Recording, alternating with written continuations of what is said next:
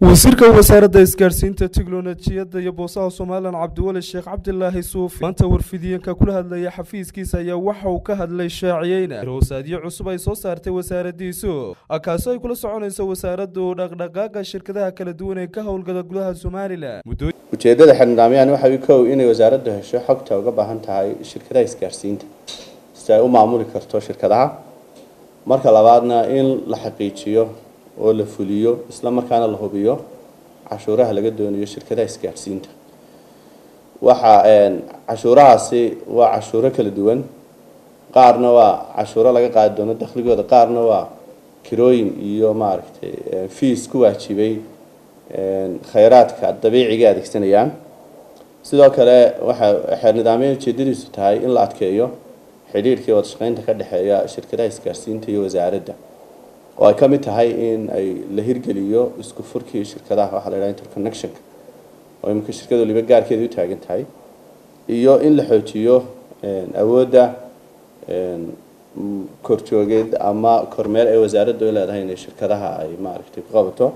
Marka xeer nidaamiyi wuxuu sheegayaa qalabku waxa kow looga leeday in marka koowaad la hubiyo tayada adeegyada isgaarsiinta bulshada helayso laba in ay wasaaraddu hesho tirakoob dhaqdhaqaaqyada isgaarsiinta dhaqdhaqaaqa isgaarsiinta waxaan uga jeednaa transaction kastoo isgaarsiino dhaca hadduu tahay cod codka waxaan uga jeedaa cool qof hadlay uu maaragtay qof kale la hadlay iyo maaragtay hadday tahay dhaato iibsaday iyo wixii kale soo raaca. Marka inaan helno tiradooda tusaale ahaan imisa cool baa maanta dhacay imisa sms baa lasu diray imise data ayaa maaragtay ayaa la iibsaday sidoo kale waxa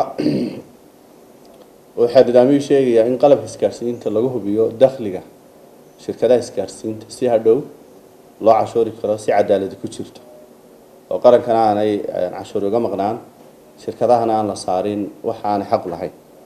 Waxaa kaluu sheegayaa xeer nidaamiyuhu waxyaabaha laga doonayo shirkad shirkadaha haysta ruqsadaha oo xeernidaamyo wuxuu leeyahay waajibaadka ama waxa laga doonayo ruqsadlayaasha markaan leenahay ruqsadlana waa shirkad ganacsi oo u haysataa liisan ama ruqsad inay bixiso adeeg isgaarsiineed markaa waxaa laga doonayaa kow inay bixiyaan xogta laga doonayo oo wasaaraddu xogta ka doonaysa inay u soo bixiyaan siday tahay. Inay u fududayso waxaa la wixii ku xidhan xogta. Waxaa kaloo laga doonayaa ruqsadluhu inuu hubiyo oo uu hirgeliyo xeernidaamaasha dambe soo socon doona.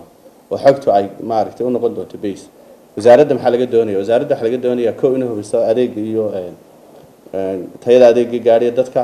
Waxaa kaloo laga doonayaa inay u ilaaliso ruqsadlayaasha xogtay gaarka u leeyihiin.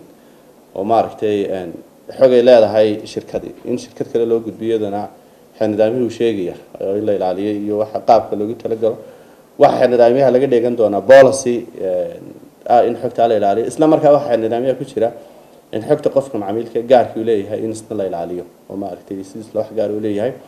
Marka guud ahaan xeer nidaamyuhu waxaan u soo saarnay anagoo ka dheegayna xeerka xeerka boosaha iyo isgaarsiinta in lagu maamulo oo lagu hirgeliyo qalabkii aan ugu talagalnay in lagu kormeero shirkadaha isgaarsiinta. Su'aasha kale iman karta waxa weeye ma jira sharciyo noocan oo kale adduunka ah uu jira waxaa la idhaha teletraffic regulation baa la idhaha wadamo badan baa sameeyey. Kuwaana waan ka soo qaadanay anagoo ku fadhiisina xaaladeena gaarka waddanka jirta iyo maaragtay suuqa isgaarsiinta somalilan waxay la gaartay inaan ku darnay.